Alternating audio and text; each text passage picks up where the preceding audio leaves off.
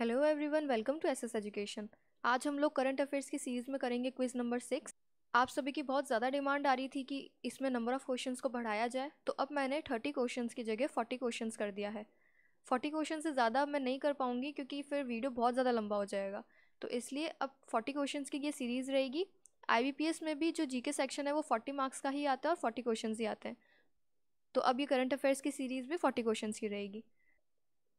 अगर आप लोगों को ये लेक्चर्स अच्छे लग रहे हों तो लाइक कर दीजिए और प्लीज़ सब्सक्राइब भी कर दीजिए मेरे चैनल को, ताकि मुझे भी और मोटिवेशन मिलता रहे और मैं आपके लिए और अच्छे अच्छे वीडियोस लाती रहूँ।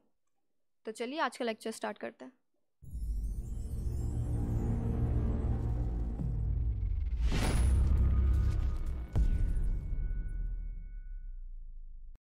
तुम्हारा फ़र्स्ट क्वेश्चन है which of the following has become the India's first bank to introduce iris authentication for Aadhaar based transaction through micro A तो कौन सा इंडिया का पहला बैंक बना है जिसने आयरिस ऑथेंटिकेशन को लागू कर दिया है? तो इसका आंसर है option number three Axis Bank Axis Bank ने ये लागू किया है। अब देखिए इसमें होगा क्या कि एक्सिस बैंक ने माइक्रो एटीएम टैबलेट्स बनाए हैं। उन टैबलेट्स का जो कैमरा होगा वो हमारी आयरिस को स्कैन करेगा। और वो आयरिस को स्कैन करने के बाद इसका ऑथेंटिकेशन करेगा U I D A I U I D A I जब इसका ऑथेंटिकेशन कर लेगा तो आपका जो ट्रांजैक्शन है वो सक्सेसफुल हो जाएगा।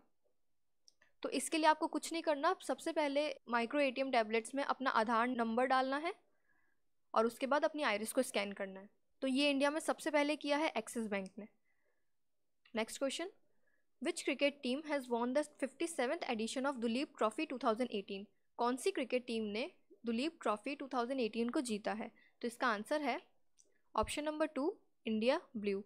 India Blue ने इंडिया रेड को हराया था और फाइनल्स में इंडिया ब्लू जीती थी। अब आपको इसमें एक और चीज़ ध्यान रखनी है कि जो दुलीप ट्रॉफी, आप ऐसे भी पूछ सकते हैं कि दुलीप ट्रॉफी जो है वो कौन से स्पोर्ट्स से रिलेटेड है? तो दुलीप ट्रॉफी किससे रिलेटेड है? क्रिकेट से। Next question. Which of the following cities is the venue of the fourth edition of world summit on accreditation W O S A two thousand eighteen इसका answer है option number one, New Delhi. इसकी theme भी आपको ध्यान रखनी है। इसकी theme है challenges and opportunities in outcome based accreditation. Which Indian sports person has been officially named as the sports ambassador of Assam? कौन से स्पोर्ट्स पर्सन को स्पोर्ट्स एम्बेसडर बना दिया है असम का? तो इसका आंसर है option number four, Hima Das. Hima Das को आप सब लोग जानते ही होंगे। इनको एक और नाम से जाना जाता है, वो है ढिंग एक्सप्रेस। ढिंग एक टाउन है आसाम के अंदर। और हिमा दास के बारे में आपको एक दो चीज़ें और ध्यान रखनी है, वो ये है कि जो I A F under twenty championship हुई थी, उसमें हिमा दास पहली वुमेन बनी है जिन्होंने गोल्ड मेडल जीता है। इंडिया से पहली विमेन है ये, ठीक है? और इन्होंने जीता है 400 मीटर रेस इवेंट में। आई ए ए एफ़ का मतलब है international.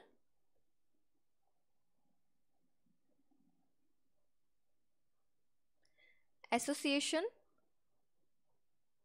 of athletics federation. ठीक है? और I F under twenty championship हुई कहाँ पर थी? ये हुई थी टेम्पर, फिनलैंड में। तो ये सारी चीज़ें आपको ध्यान रखनी है, ठीक है? और हिमा दास ने एशियाड में भी 400 मीटर रेस के अंदर सिल्वर जीता है। Next question which Indian women writer has authored a new novel the rule breakers the rule breakers जो नॉवल है, वो कौन सी इंडियन राइटर ने लिखी है? तो इसका आंसर है option number two Preeti Shenoy next question which noted Odia poet will be honoured with the prestigious thirty ninth edition of the Sarala Puraskar award two thousand eighteen Sarala Puraskar award जो है, वो कौन से एक Odia poet है जिनको मिलेगा? तो इसका आंसर है option number two Shatrughna Pandav. इनको किसके लिए मिलेगा? इनकी जो राइटिंग है, वो है मिश्र ध्रुपद उसके लिए इनको मिलेगा सरला पुरस्कार। तो आपको ये भी ध्यान रखना है कि ये एक ओडिया पोइट है और इनको मिलेगा सरला पुरस्कार। और इनकी जो पोइट्री कलेक्शन है, वो क्या है? मिश्र Dhrupad next question which Indian economist has been conferred honoris causa by the university of engineering and management in Kolkata तो हॉनोरिस कौसा कौन से एक इंडियन इकोनॉमिस्ट को दिया है? तो इसका आंसर है option number three Vivek Debroy Vivek Debroy जो है, वो चेयरमैन है economic advisory council to the prime minister तो पीएम को जो इकोनॉमिक एडवाइजरी काउंसिल है, जो उनको एडवाइस करती है इकोनॉमिक सॉल्यूशंस के लिए तो उसके चेयरमैन है विवेक देबरॉय और ये एक मेंबर भी है नीति आयोग के. Next question which renowned personality has made the first honorary ambassador of the Lal Bahadur Shastri memorial foundation तो कौन सी एक इंडियन पर्सनैलिटी है? उनको लाल बहादुर शास्त्री मेमोरियल फाउंडेशन के एम्बेसडर बनाया है। तो इसका आंसर है option number four Akshay Kumar next question who has been appointed the chairman of telecom regulatory authority of India TRAI का चेयरमैन किसको अपॉइंट किया गया है इसका आंसर है ऑप्शन नंबर वन राम सेवक शर्मा इसमें आपको ये भी ध्यान होना चाहिए कि जो ट्राई है, इसका हेडक्वार्टर कहाँ है? तो इसका हेडक्वार्टर है न्यू दिल्ली में। Next question which state is hosting the one district one product summit 2018 one district one product summit जो है वो कौन सी स्टेट होस्ट कर रही है? तो इसका आंसर है option number three Uttar Pradesh तो ये जो समिट है, ये हमारे प्रेसिडेंट रामनाथ कोविंद ने इनाग्रेट करी है और इसको एमएसएमई और हैंडीक्राफ्ट सेक्टर को बूस्ट करने के लिए इनाग्रेट किया गया है। उसके बाद इसकी जो टैगलाइन थी इस समिट की, वो थी नई उड़ान नई पहचान।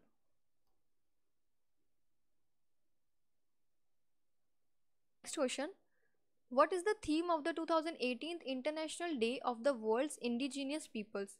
2018 का इंटरनेशनल डे जो है वर्ल्ड इंडिजीनियस पीपल पे। उसकी थीम क्या थी?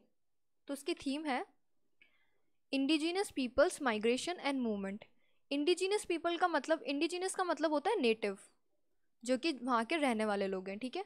और ये जो इंटरनेशनल डे है, ये मनाया कब जाता है? ये मनाया जाता है नाइन्थ अगस्त को। और इसकी थीम थी indigenous peoples migration and movement next question the following has become the first defence P S U to be activated on the TReDS platform अब देखो, सबसे पहले तो ट्रेड्स का मतलब क्या है? ट्रेड्स है ट्रेड रिसीवेबल डिस्काउंटिंग सिस्टम अब ये जो ट्रेड ट्रेड्स प्लेटफॉर्म है, ये एमएसएमई के लिए बनाया गया है। इससे उनका जो फाइनेंस है वो बूस्ट हो। और इनको फाइनेंस करता कौन है? बैंक्स हैं एन हैं और दूसरे फाइनेंशियल इंस्टीट्यूशंस हैं। तो इस ट्रेड्स प्लेटफॉर्म के अंदर कौन से एक डिफेंस पीएसयू को भी अब शामिल कर लिया गया है? तो उसका आंसर है option number four Garden Reach ship builders and engineers तो ये डिफेंस पीएसयू भी अब ट्रेड्स प्लेटफॉर्म के अंदर एक बायर हो जाएँगे। तो इंपॉर्टेंट क्वेश्चन है, इसको आप ध्यान रखना, ठीक है? Next question who has been appointed as the new chairperson of the national commission for women national commission for women के न्यू चेयरपर्सन किसको अपॉइंट किया गया है? तो इसका आंसर है option number four Rekha Sharma. Next question recently justice Gita Mittal has been sworn in as the chief justice of which of the following high Courts? Gita Mittal को कौन सी स्टेट के हाई कोर्ट का chief justice बनाया गया है? तो इसका आंसर है option number two, Jammu and Kashmir. ये अभी अभी Jammu and Kashmir high court की चीफ जस्टिस बनी है और ये पहली वुमेन है जिनको चीफ जस्टिस बनाया गया जम्मू एंड कश्मीर के हाई कोर्ट का। Next question. What is the venue of the ICC women's world T twenty two thousand eighteen ICC women's world T twenty जो होगा 2018 में, वो कहाँ पर होगा? तो इसका आंसर है option number three, West Indies. ये वेस्ट इंडीज़ में होने वाला है। तो ये 2018 का इवेंट है तो आप इसको ध्यान रखना। Next question the tenth bi Indian international exhibition and conference India camp 2018 was held in which city तो इंडिया कैम्प 2018 जो कॉन्फ्रेंस है, वो कौन सी सिटी में हुई है? तो इसका आंसर है option number one Mumbai mostly conferences जो होती है, वो न्यू दिल्ली में होती है, लेकिन इंडिया कैम्प जो है, वो हुई है मुंबई के अंदर। Next question What is the India's rank in Visa's 2018 government e payment adoption ranking GEAR जो रैंकिंग है government e payment adoption ranking उसमें इंडिया की कौन सी रैंक है? तो इसका आंसर है option number two twenty eighth India की जो रैंक है वो सेवेंटी थ्री कंट्रीज़ में आई है. सेवेंटी थ्री कंट्रीज़ में इंडिया है ट्वेंटी एट्थ नंबर पर. और जो फ़र्स्ट है वो है नॉर्वे और आपको एक और ध्यान रखना है कि ये जो इंडेक्स है गियर इंडेक्स ये ई आई यू मतलब इकोनॉमिक इंटेलिजेंस यूनिट की ग्लोबल इंडेक्स है, ठीक है? तो ये ई आई यू की ग्लोबल इंडेक्स है। Who has been appointed the chief statistician of India chief statistician of India किसको अपॉइंट किया गया है? तो इसका आंसर है option number three Praveen Srivastava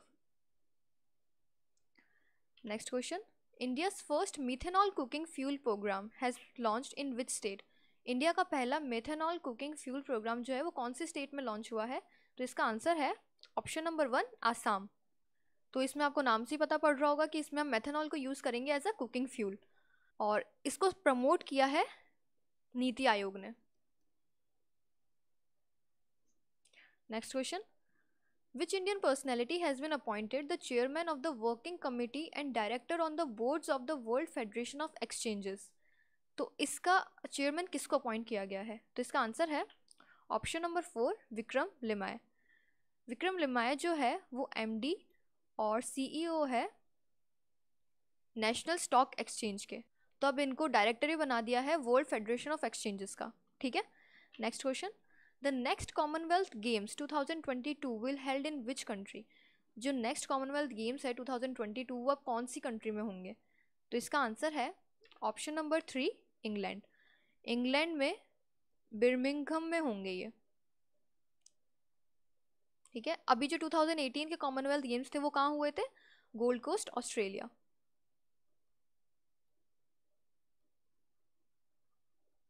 और इसमें जो इंडिया की रैंक थी वो आई थी थर्ड और इंडिया ने कितने मेडल जीते थे? सिक्सटी सिक्स और एक और इंपॉर्टेंट चीज़ जो आपको इससे इससे ध्यान रखनी है, जो 2022 के कॉमनवेल्थ गेम्स होंगे, उसमें शूटिंग को एक्सक्लूड कर दिया है। तो इंडिया के लिए ये बहुत बड़ा नुकसान है, क्योंकि शूटिंग में इंडिया काफ़ी मेडल्स जीतता है। 2022 के कॉमनवेल्थ गेम्स में शूटिंग नहीं होगी। Next question Which of the following states police have decided to conduct joint operations and share information to combat left wing extremism? तो कौन सी दो स्टेट्स की पुलिस ने जॉइंट ऑपरेशन कंडक्ट किया है और इन्फॉर्मेशन शेयर करेंगे किसको, किसका सामना करने के लिए लेफ़्ट विंग एक्सट्रीमिज्म का तो इसका आंसर है option number four Orissa and Andhra Pradesh Orissa और आंध्र प्रदेश की जो बॉर्डर एरियाज़ हैं, वहाँ पर जो मायोइस्ट है वो एक तरीके से बहुत ज़्यादा न्यूसेंस क्रिएट करते हैं तो उन्हीं से लेफ़्ट विंग एक्सट्रीमिज़म से डील करने के लिए और उन, उनका सामना करने के लिए अब इन दोनों स्टेट्स की जो पुलिस है, वो साथ में काम करेगी और जॉइंट ऑपरेशन रिलीज़ करेगी। Next question what is the current repo rate as per R B I fourth bimonthly monetary policy statement for two thousand eighteen और नाइनटीन तो आरबीआई का जो भी fourth bimonthly monetary policy statement था, उसमें उन्होंने repo rate को अब कितना कर दिया है? तो इसका आंसर है option number three, six point five. जो रिवर्स रेपो रेट है, वो हो गई है सिक्स पॉइंट टू फाइव। और जो मार्जिनल स्टैंडिंग फैसिलिटी और बैंक रेट है, ये दोनों है six point seven five. C R R है फोर परसेंट और एस एल आर है नाइनटीन पॉइंट फाइव परसेंट। तो ये सारी वैल्यूज़ आपको ध्यान होनी चाहिए। Next question. The Tatkal Seva for Property Registration is a proposed initiative of which state government?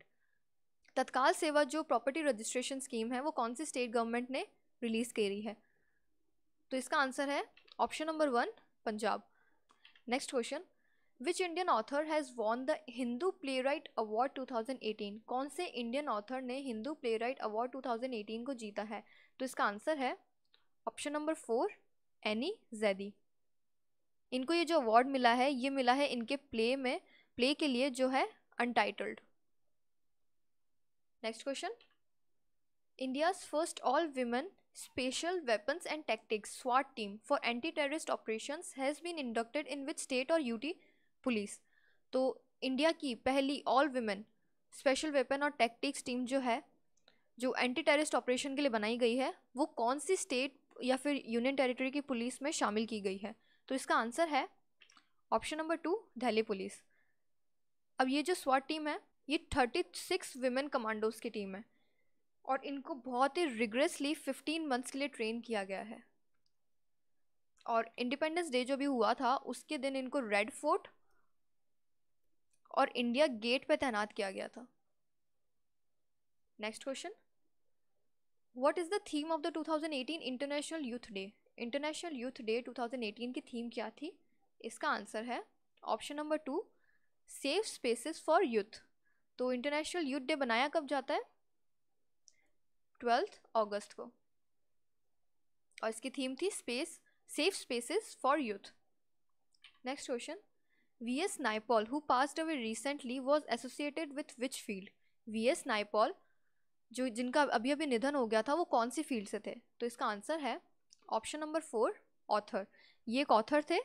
ये एक बहुत ही नोटेड ऑथर थे और इनको नोबल प्राइज़ भी मिल चुका है लिटरेचर के अंदर। तो ये क्वेश्चन आपके लिए इंपॉर्टेंट है, आप ध्यान रखना। Next question what is the theme of the ninth edition of vibrant Gujarat global summit 2019 vibrant Gujarat global summit 2019 की थीम क्या है? इसका आंसर है option number four shaping of a new India next question which Indian authority has launch the RUCO initiative recently RUCO initiative है क्या? RUCO का मतलब है repurpose, used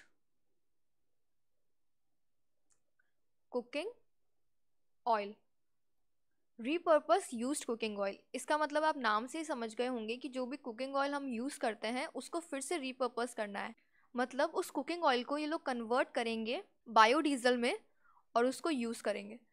तो ये जो इनिशिएटिव है, ये कौन सी इंडियन अथॉरिटी ने लिया है? इसका आंसर है option number one food safety and standard authority of India F S S A I next question which state government has recently launch the Nirman Kusum programme Nirman Kusum programme कौन सी state government ने launch किया है? इसका answer है option number to Orissa ये उड़ीसा की state government ने लॉन्च किया है।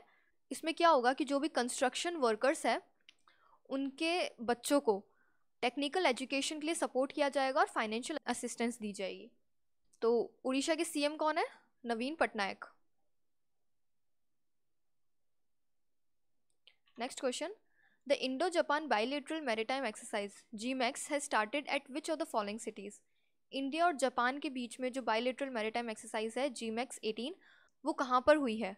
तो इसका आंसर है option number three Visakhapatnam. Visakhapatnam, Andhra Pradesh. तो ये आंध्र प्रदेश में है ये आप ध्यान रखना, ये भी ध्यान रखना कि जिमेक्स किसके बीच की एक्सरसाइज है? इंडिया और जापान के बीच की। आंध्र प्रदेश के सीएम कौन है? Chandrababu Naidu. Next question who has been appointed the new deputy national security adviser new deputy national security adviser किसको अपॉइंट किया गया है? तो इसका आंसर है option number two R N Ravi R N Ravi को deputy national security adviser appoint किया गया है और जो हमारे नेशनल सिक्योरिटी एडवाइज़र हैं, वो कौन है? वो है Ajit Doval next question which state government has recently launched the Sashakt Kisan Yojana and कृषि समूह योजना कौन सी स्टेट गवर्नमेंट ने सशक्त किसान योजना और कृषि समूह योजना को लॉन्च किया है? तो इसका आंसर है option number one Arunachal Pradesh तो अरुणाचल प्रदेश की गवर्नमेंट ने इसको लॉन्च किया है। ये फार्मर्स को सपोर्ट करने की एक स्कीम है, जिसमें उनकी इनकम को भी डबल किया जाएगा। Next question India's longest rail cum road bridge Bogibeel will come up over which river India का लॉन्गेस्ट जो कंबाइन रेल और रोड ब्रिज है बोगी बील वो कौन सी रिवर के ऊपर बन रहा है? तो इसका आंसर है ऑप्शन नंबर थ्री ब्रह्मपुत्रा। तो ब्रह्मपुत्रा रिवर के ऊपर ये बन रहा है। Next question where is Darrah national park Darrah national park कहाँ पर है? दर्रा नेशनल पार्क है राजस्थान के अंदर। Next question who will represent India at the sixty seventh Miss Universe 2018 pageant in Bangkok जो मिस यूनिवर्स 2018 होगा, इस उसमें इंडिया को कौन रिप्रेजेंट करेगा? तो इसका आंसर है option number one Nehal Chudasama next question Which of the following cities is the venue of the regional conference on good governance with focus on aspirational district? तो गुड गवर्नेंस जो conference है, वो कौन सी city में होगी? तो इसका answer है option number four Bhopal, Madhya Pradesh. Next question who has created history by becoming the first Indian to win a medal in I A F continental cup तो I A F continental cup में कौन से एक Indian है जिन्होंने medal जीता है और ये हिस्ट्री बन गई है? क्योंकि आज तक I A F continental cup में किसी भी इंडियन प्लेयर ने मेडल नहीं जीता था। तो इसका आंसर है option number one Arpinder Singh तो अरपिंदर सिंह ने इसमें जीता है ब्रॉन्ज इन्होंने जो एशियाड हुए थे हमारे जकार्ता एशियन गेम्स उसमें भी गोल्ड मेडल जीता था ट्रिपल जंप के अंदर। ठीक है? अब एक चीज़ आपको यहाँ पर कंफ्यूज कर सकती है, मैंने आपको जब हिमा दास वाला क्वेश्चन बताया था उसमें मैंने आपको बताया था कि I A F under twenty championship जो है, उसमें हिमा दास ने मेडल जीता है। तो ये जो चैम्पियनशिप है, ये कहाँ हुई थी? टेम्पर फिनलैंड में। और आईएएफ का कॉन्टिनेंटल कप जो है, जिसमें अरपिंदर सिंह ने मेडल जीता है, वो कहाँ हुआ है? वो हुआ है ऑस्ट्रावा चेक रिपब्लिक। ठीक है तो आप इन दोनों चीज़ों में कंफ्यूज मत होना, ये दोनों अलग अलग इवेंट थे, और इनको आप ध्यान से याद कर लीजिए। Next question what was the theme of the 2018 international literacy day international literacy day की थीम क्या थी? इसका आंसर है option number two literacy and skills development international literacy day मनाया कब जाता है? ये मनाया जाता है एथ सेप्टेम्बर को। तो ये थे आज के फोर्टी क्वेश्चंस आई होप आपको अच्छा लेक्चर पसंद आया होगा. अगर आपको अच्छा लगा हो तो ऐसे मुझे सपोर्ट करते रहिए और लाइक करते रहिए वीडियो को. और मैं कल आपके लिए लेकर आऊँगी क्विज़ नंबर सेवन तो आज के लिए इतना ही. Thank you so much for watching